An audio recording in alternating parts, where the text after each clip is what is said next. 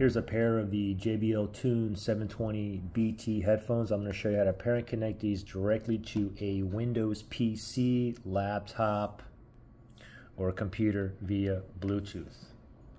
First thing is go to the Bluetooth settings on your Windows computer. You can just go down to search down here and you can just type in Bluetooth, Bluetooth, and other settings. It's in the system settings, so let me go ahead and select on that. And then from here, Bluetooth and other devices, you want to make sure Bluetooth is turned on, and then you want to select Add Bluetooth other device. So let's select that. And, soon, uh, and then from here, we're going to tap on the first one, Bluetooth, right on top.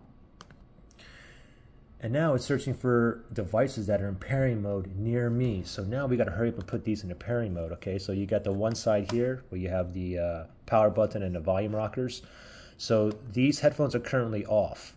What I so they're off right now. So what I want to do next is I want to press and hold that power button and just wait until the light here starts blinking blue, blue, blue, blue, which indicates it's in pairing mode. Okay, so we'll do it together. These are currently off. Power button ready. Press and hold. Power on, it said. It says pairing, and now we see the blue, blue, or blue, blue, blue, blue. So it's in pairing mode. Now we're going to come back on here, and let's see if it found it. Oh, there's so many of them here. Let's, oh, there we go right there, a JBL Tune 720 BT right there. Let me go ahead and select on that. It says connecting. And the headphones just say connected, and you can see it's connected right there as well.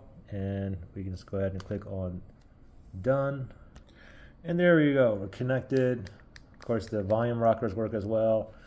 So we're ready to go, okay? If you had issues where you couldn't connect or pair, you can always reset these. If you need to do that, look in the link below in the description area.